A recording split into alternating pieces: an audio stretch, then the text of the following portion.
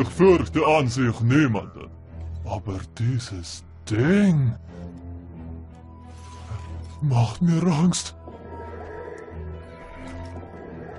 Wow, wow, Alter, ich will über diesen Freak nicht reden, okay?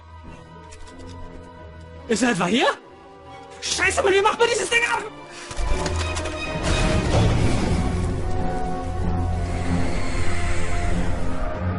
Erschaudert bei dem Gedanken herauszufinden, was sich hinter dieser Maske in diesem kranken Irren verbirgt.